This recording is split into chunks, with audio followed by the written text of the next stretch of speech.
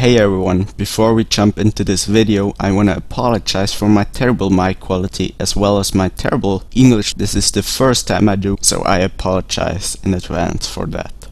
Hello and welcome. Today I'm gonna be showing you how to edit this ordinary zoo image into this fine art picture. So let's get started.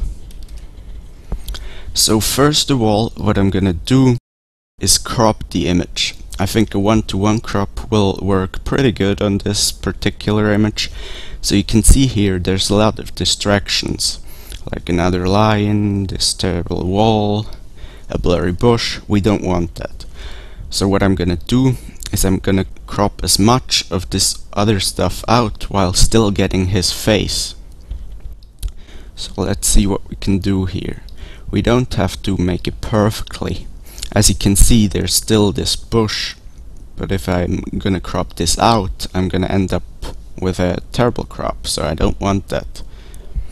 So what I'm gonna do is just find a nice composition maybe a little bit more hair. Alright so let's start working here.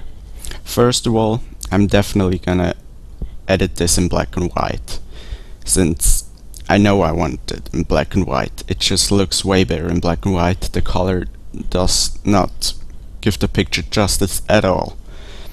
So let's get started here. First what I'm gonna do is I'm gonna turn down the blacks holding down the alt key to see where the black points clip and just releasing and seeing what looks good. I think that looks pretty good. Then what I'm gonna do is bring down the highlights actually all the way 100%. You see how much detail they're suddenly unveiled? It's not that much, but later it's gonna get in handy very nicely. Alright, so what I'm gonna do next is play around with the clarity. So I like what the clarity does to the hair, but I don't like it what it does to the face itself of the line. So I'm gonna actually make a mask here. Bit of a white feather. Just and just mask everything around the line, around around the face itself. I'm gonna press the I'm gonna press the O key here to see what I've selected, what is in my mask. It doesn't have to be perfect can clip a little bit then I'm gonna press the Alt key to get rid of everything I've selected on the on the face that I don't want selected. Alright so I'm gonna press the O key again so the mask doesn't show the red anymore. And now I can increase clarity here. And you see what beautiful effect it has to the hair outside of the face so let's just see. I actually think 100 works pretty well here. Yeah, definitely. And also contrast. Contrast works perfectly here. Let's see how much I want to add. Actually, I think I'm gonna add 100 here as well. Could play around with the other settings. Maybe turn down the shadows just a little bit to give a bit more dramatic look. Play around with the highlights, doesn't really make too much of a difference, so I'm gonna leave it there.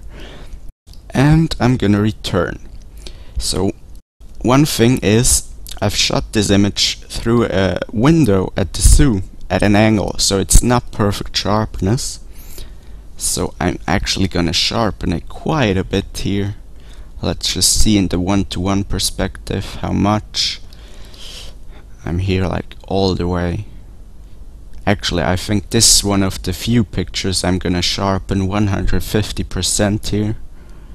It looks pretty much, yeah, it definitely looks better 100 at 150% than at like 80 from outside.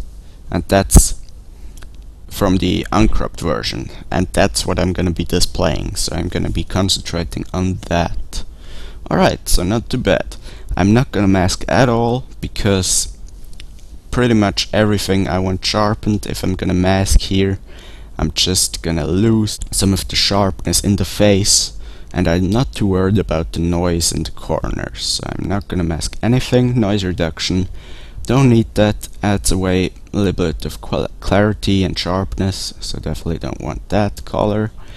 Don't need that here. I'm gonna enable lens profile correction.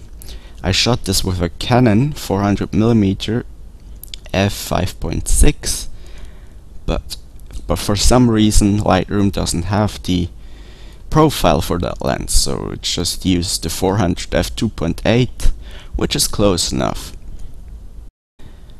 so let's see here. I like to turn down the vignetting after the lens profile correction just because I like the little bit of vignetting. It's really not that much here. So yeah. Chromatic aberration nothing I, I'm gonna be worrying about on black and white. Now vignetting will work very good on this image to bring just the attention to the center of the frame so I'm gonna try here actually quite a lot of vignetting just see what works best I think actually this works pretty well around 24 gonna change around the midpoint slightly I like the default way here, so I'm gonna reset the midpoint. Alright, so down here is all color stuff, not gonna worry about that. Grain, not gonna add any grain. So we're back up here. So I'm actually gonna try out the whites, but this just makes the image way too bright. Actually, I like it. On default, the whites but what I'm gonna do is bring up the highlights. So just the very highlights of the image get a little bit brighter and it adds a little bit more dynamic to the image. Then I'm gonna just play around with the other settings. Don't like any of the lights. Let's see if the darks do anything. Actually don't like the darks either. Shadows. Nope. That's too dark actually gonna raise it just a little bit. So yeah, we actually just got pretty much a good look. I might add a little bit of clarity to the total image. Just a little bit, alright. Shadows. Actually, I don't like the look the shadows give when I put them up on the entire image. I like, however, what they do to the eyes. So I'm gonna reset them here and I'm gonna add a brush feather not that much and I'm just gonna add a mask a brush to the eyes and bring up the shadows perfect so you can see here the lion just looked up so you can't even see his eyeball but here we have a perfect eyeball so what I'm gonna do here is gonna activate Frankenstein mode I'm gonna select the spot removal tool. I'm gonna go to the eye with the clear ball. I'm gonna look what size it is. I'm not gonna click anything yet. I'm gonna go to the other eye.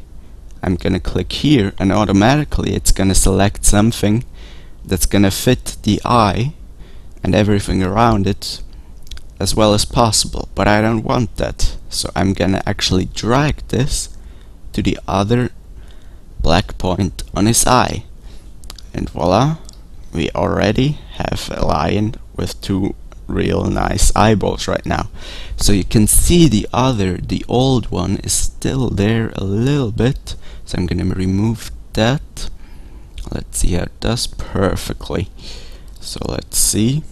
It actually looks a bit weird because the one eyeball is so far up so what I'm gonna do here is zoom in again, take this and just drag it a little bit on top. Let's see how this looks again. Still could use a little bit more. So let's see how that works. Alright, so that works pretty well. Alright, so we're almost done but what's missing is some vignetting. We've already added vignetting in the vignetting tool, But now what I want is to make all of this distractive stuff black, so it's just a line and his hair. So I'm gonna select a bit of a big feather on the normal adjustment brush tool. I'm gonna lower the exposure quite a bit, two stops, and I'm just gonna brush everything away that I don't want in the picture. On zoo shots, generally, you wanna shoot pretty tight because unlike in nature, you don't have the nice background. You often have people and fences so of course you don't want that. And that also is a great way to get rid of all those distractions just by simply adding some vignetting. I'm just gonna see. Now minus two stops works great for everything down here but up here we can still see some details I'm gonna actually add a new brush minus one and I'm gonna paint just where I still can see the background here again. Now I actually don't want this too much because I still want a little bit just a shadow of the background so it doesn't look totally unnatural. So let's see here. So yeah, I think this works pretty good. But what we have is like almost a bit too much darkness here on the edges so I'm actually gonna select a new brush and I'm gonna erase the shadows and just brush over it. Now the great thing is even if you don't have Lightroom you can still do this pretty much with every other editing tool. You just have to do it their way. So yeah, we're almost done actually. Here we could use still a little bit more vignetting. Alright. So let's see the before and after. This is the before. And the regular zoo image, nothing special. I personally I'd delete it if it would stay like this. But thanks to editing software, we now have this amazing gallery shot. Isn't that amazing? Thank you so much for watching. Please subscribe if you'd like to see more videos like that, as well as a one-year photography tour throughout all of Europe that I'm gonna be going on next year. Leave any comments or questions in the comment section down below. I'm gonna reply to all of them. Like the video and have an amazing day.